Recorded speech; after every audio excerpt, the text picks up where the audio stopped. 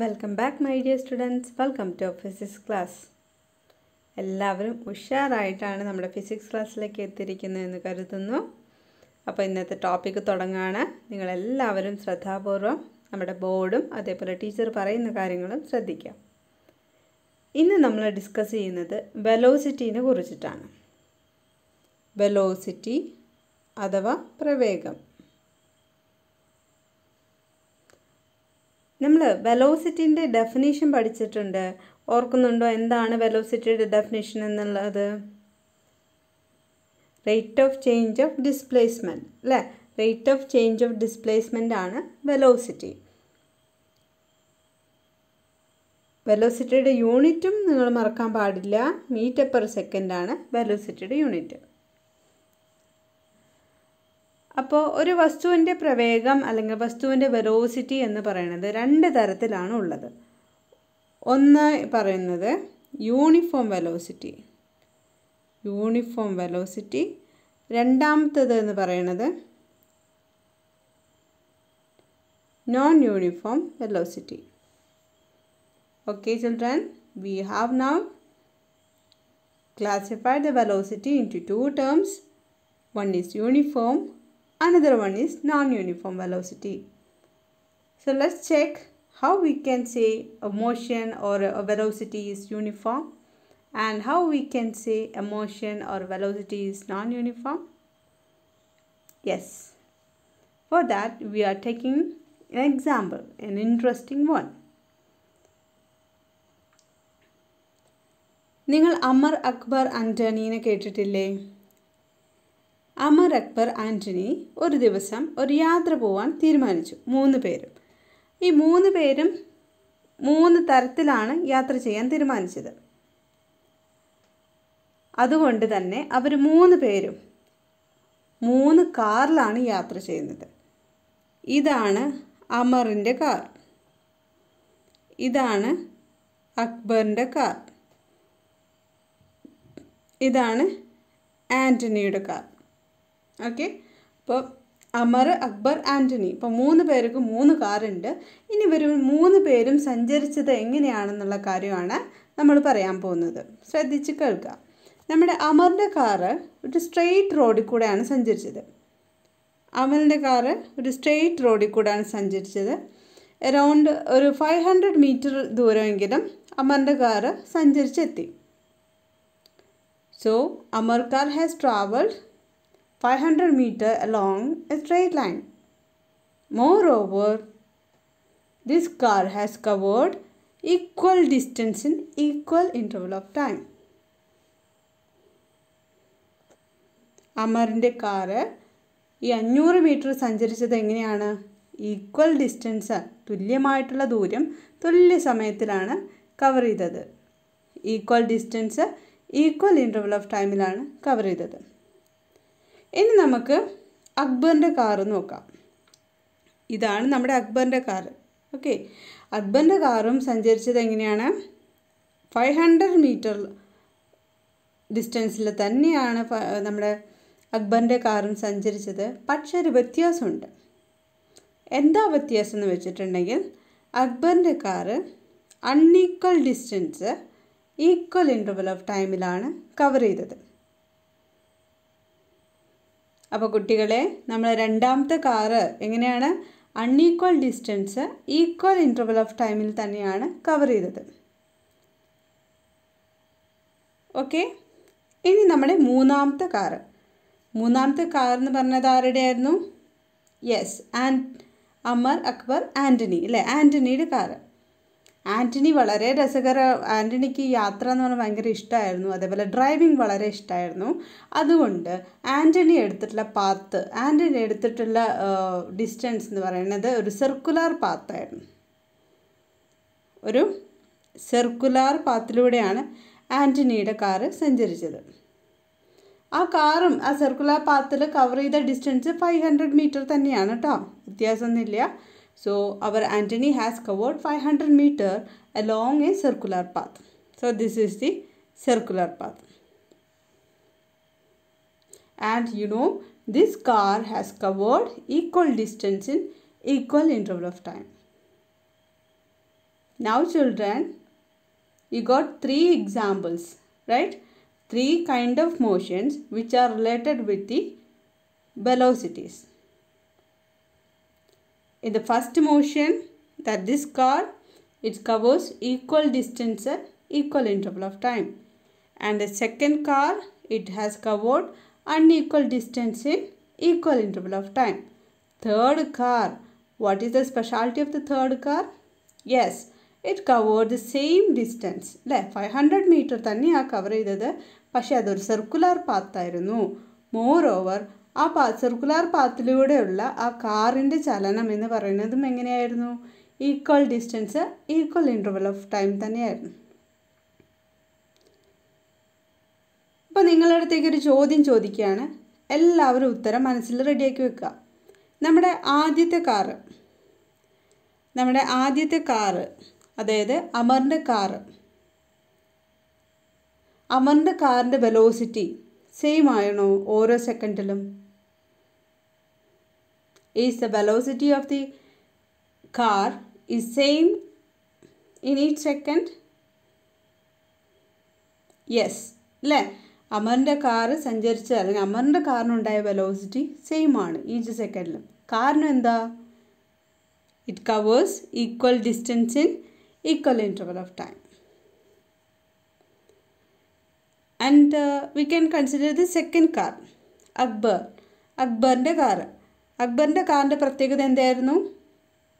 Unequal distance equal interval of ടൈമിലാണ് cover ചെയ്തത്. So is the velocity of his car is same in each second no right the velocity of car is not same in each second എന്തുകൊണ്ടാണ് നമ്മൾ അക്ബറിന്റെ കാറിന്റെ velocity വ്യത്യാസമാണ് എന്ന് പറഞ്ഞത്? കാരണം ആ കാറ് സഞ്ചരിച്ചത് അൺഈക്വലായിട്ടുള്ള ഡിസ്റ്റൻസാണ് അല്ലേ? അൺഈക്വലായ ഡിസ്റ്റൻസ് ഈക്വൽ ഇന്റർവൽ ഓഫ് ടൈമിലാണ് കവർ ചെയ്ത് പോയത്. അപ്പോൾ നമുക്ക് പറയാം അക്ബർ അല്ലെങ്കിൽ നമ്മുടെ സെക്കൻഡ് കാറിന്റെ വെലോസിറ്റി എന്ന് പറയുന്നത് സെയിം അല്ല. ഇനി നമ്മുടെ മൂന്നാമത്തെ കാറ് നോക്കാം. മൂന്നാമത്തെ കാറ് ഓക്കെ മൂന്നാമത്തെ കാറ് നമ്മുടെ ആന്റണിയുടെ കാറ് ആന്റണിയുടെ കാറ് സഞ്ചരിച്ച പാത്ത് നിങ്ങൾക്കറിയാലോ? സർക്കുലർ പാത്ത് ക്വസ്റ്റ്യൻ ഇതാണ് is the velocity of car is same throughout the journey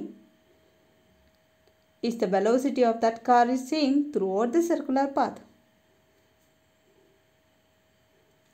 എന്തായിരിക്കും ഉത്തരം?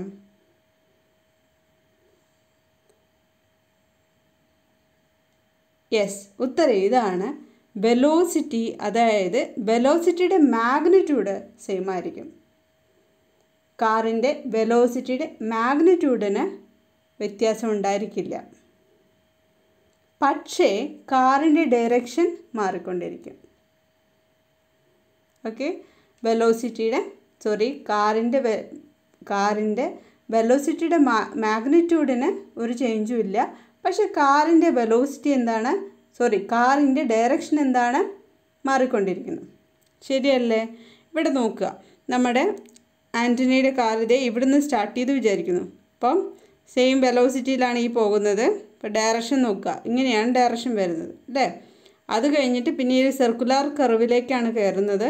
അപ്പോൾ എന്ത് ചെയ്തു? ഈ ഡയറക്ഷൻ മാറിയല്ലോ അല്ലേ? ഡയറക്ഷൻ മാറി. ഏരോ നിങ്ങൾ ശ്രദ്ധിക്കുക. അത് കഴിഞ്ഞിട്ട് വീണ്ടും നമ്മുടെ കാർ മൂവ് ചെയ്യണം. Again it's move like this and again is coming to the circular path ഈ ഒരു കർവിലേക്കാണ് വരുന്നത്. അപ്പോഴും എന്ത് ചെയ്തു? അതിന്റെ ഡയറക്ഷന് മാറ്റം സംഭവിച്ചു.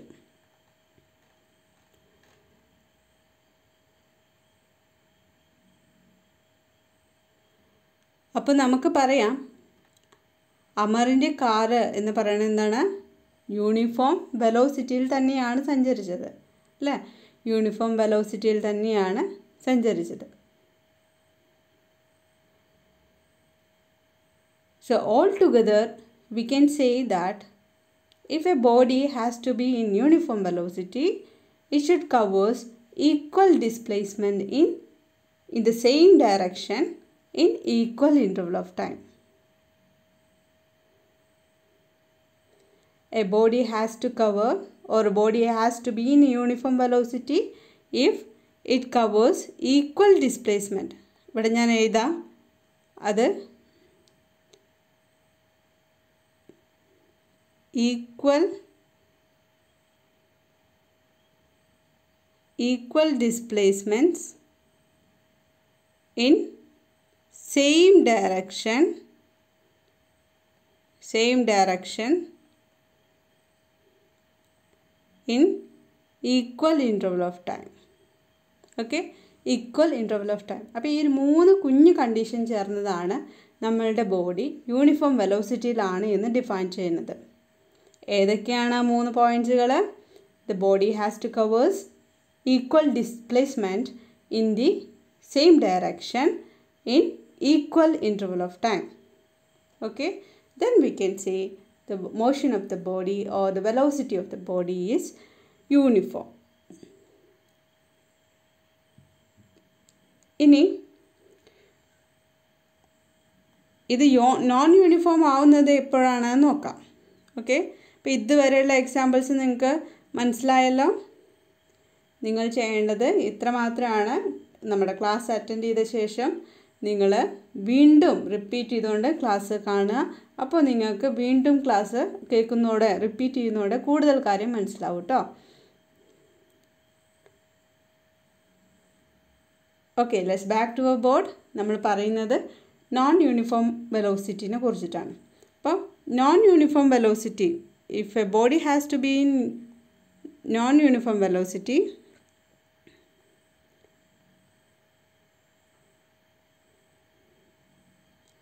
non uniform വെലോസിറ്റിയിലാവണമെങ്കിൽ ഒന്നല്ലെങ്കിൽ സ്പീഡ് അല്ലെങ്കിൽ ഡയറക്ഷൻ ചേഞ്ച് ചെയ്യണം.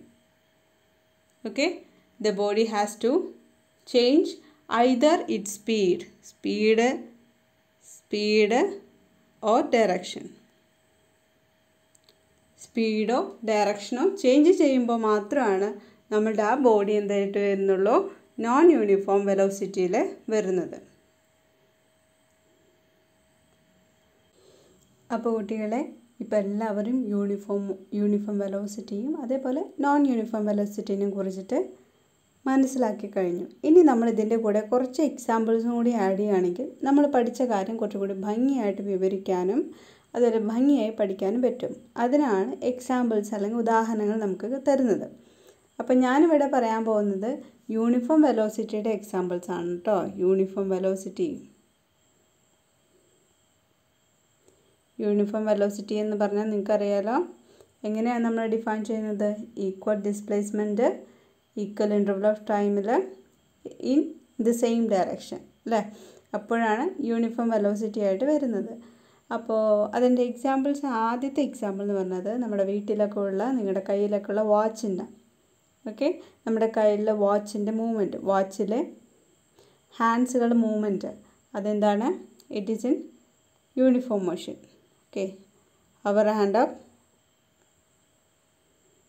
clock അത് യൂണിഫോം മോഷനിലാണ് ഇനി രണ്ടാമത്തെ എക്സാമ്പിൾ നമുക്ക് നോക്കാം. രണ്ടാമത്തെ എക്സാമ്പിൾ എന്ന് പറഞ്ഞാൽ ഏത് സ്ട്രെയിറ്റ് റോഡ് എടുത്തോളൂ ആ സ്ട്രെയിറ്റ് റോഡിൽ കൂടെ സഞ്ചരിക്കുന്ന ഒരു വാഹനം. അത് കാറാവട്ടെ ബസ്സാവട്ടെ ജീപ്പാവട്ടെ എന്തും ആവട്ടെ. അപ്പോൾ ആ ഒരു സ്ട്രെയിറ്റ് റോഡിൽ കൂടെ സഞ്ചരിക്കുന്ന ഒരു വാഹനം എപ്പോഴും എന്തിലായിരിക്കും? യൂണിഫോം വെലോസിറ്റിയിലായിരിക്കും അപ്പോൾ വെഹിക്കിൾ ഓൺ സ്ട്രെയിറ്റ് റോഡ്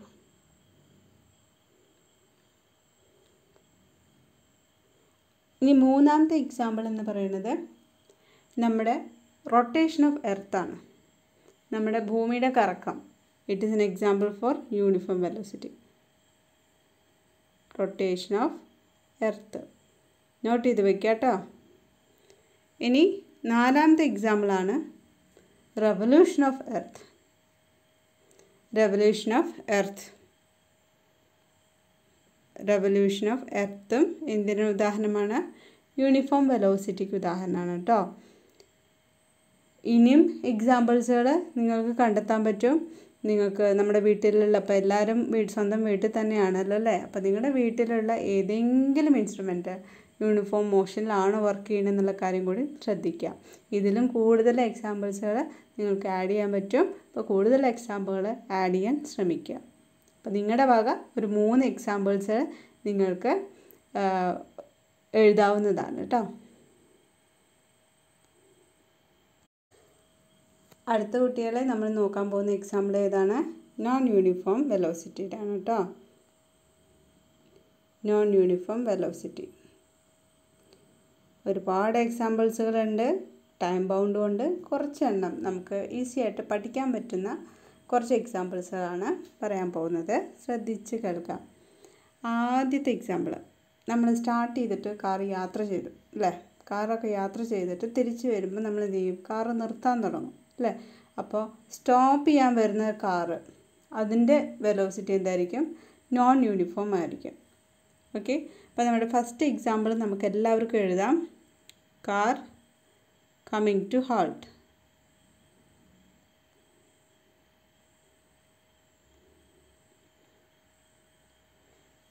അടുത്ത എക്സാം നോക്കാം. നമ്മുടെ ട്രെയിൻ അല്ലേ? റെയിൽവേ സ്റ്റേഷനിൽ നിങ്ങൾ നിൽക്കുമ്പോൾ ട്രെയിനിന്റെ വരവ് കണ്ടിട്ടുണ്ടായിരിക്കും. ട്രെയിൻ ഇങ്ങനെ എത്ര സ്പീഡിൽ വരുന്ന ട്രെയിന് പിന്നെ സ്പീഡ് കുറച്ച് കുറച്ച് കുറച്ച് കുറച്ചിട്ടാണ് നമ്മുടെ സ്റ്റോപ്പിലേക്ക് എത്തുന്നത്. അപ്പോൾ ട്രെയിൻ ഒരു ഒരു സ്റ്റോപ്പിലേക്ക് എത്തിച്ചേരുന്ന ട്രെയിനിന്റെ വെലോസിറ്റി എന്ന് പറയുന്നത് നോൺ യൂണിഫോം ആയിരിക്കും. Okay? So a train train coming comings to it stop. Okay? Train coming into its top, it is an example for non-uniform velocity. ഇനി അടുത്ത എക്സാമ്പിൾസ് എന്ന് പറഞ്ഞത് നമ്മുടെ ഇപ്പോൾ ടോക്കിയോ ഒളിമ്പിക്സ് ഒക്കെ കഴിഞ്ഞതാണ് അല്ലേ? അപ്പോൾ അവിടെ റിലേയിലും അല്ലെങ്കിൽ റണ്ണിങ് അത്ലറ്റ്സിലൊക്കെ നിങ്ങൾക്ക് കണ്ടിട്ടുണ്ടായിരിക്കും ആൾക്കാർ ഓടുന്നത്. അവർ കോൺസ്റ്റന്റ് സ്പീഡിലാണ് ഓടുന്നത്. അല്ല അല്ലേ? അവർ ഒരു പെർട്ടിക്കുലർ ടൈം ആകുമ്പോൾ ഒരു സ്പീഡ് ഇങ്ങനെ ഇൻക്രീസ് ചെയ്ത് ഇൻക്രീസ് ചെയ്ത് കൊണ്ടുപോകും അങ്ങനെയാണ് അവർ ഫസ്റ്റ് പ്രൈസൊക്കെ അടിക്കുന്നത്.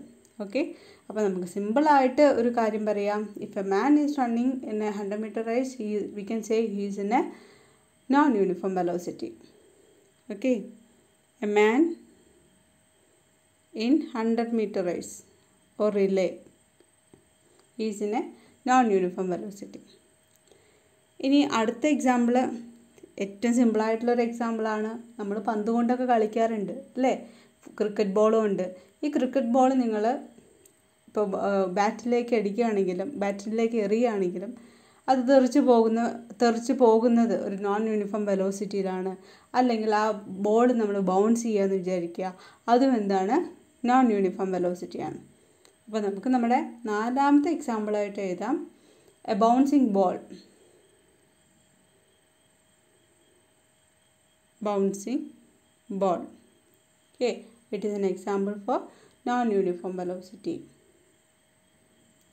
Okay പിന്നെ അറിയാലോ നമ്മുടെ നാട്ടിൽ ഓടുന്ന ബസ്സുകൾ അല്ലേ? നമ്മുടെ നാട്ടിൽ ഓടുന്ന എല്ലാ ബസ്സുകളും എന്തായിരിക്കും? നോൺ യൂണിഫോം വെലോസിറ്റി ആയിരിക്കും അപ്പോൾ ബസ്സാണ് we can say a bus if a bus it is an a town bus running in a town it is an example for non uniform velocity okay അപ്പോൾ ഇന്നത്തേക്ക് ഇത്രയും കാര്യങ്ങളാണ് നോൺ യൂണിഫോം വെലോസിറ്റിയുടെ എക്സാമ്പിളായിട്ട് പറയുന്നത്. അപ്പോൾ നിങ്ങൾ പഠിക്കേണ്ടത് ഇപ്രകാരമാണ്. എന്താണ് യൂണിഫോം വെലോസിറ്റി എന്താണ് നോൺ യൂണിഫോം വെലോസിറ്റി എന്ന് പഠിക്കുക. അതിന് കറസ്പോണ്ടിങ് ആയിട്ടുള്ള അറ്റ്ലീസ്റ്റ് ഒരു നാല് എക്സാമ്പിളെങ്കിലും നല്ല നിങ്ങൾക്ക് പഠിക്കാൻ എളുപ്പമുള്ള നാല് എക്സാമ്പിളെങ്കിലും നിങ്ങൾ പഠിച്ചിരിക്കുക. ഓക്കെ അപ്പോൾ നിങ്ങളുടെ സ്റ്റേറ്റ് ചെയ്യാനാണ് ചോദിക്കുക പരീക്ഷയ്ക്ക്. അപ്പോൾ നിങ്ങൾ സ്റ്റേറ്റ്മെന്റ് കൊടുക്കുന്നതിനൊപ്പം തന്നെ ഈ രണ്ട് എക്സാമ്പിൾ അല്ലെങ്കിൽ നാല് എക്സാമ്പിൾ എത്തി കഴിഞ്ഞിട്ടുണ്ടെങ്കിൽ നിങ്ങളുടെ ആൻസർ പെർഫെക്റ്റായി okay so thank you children for your patient listening to our class thank you so much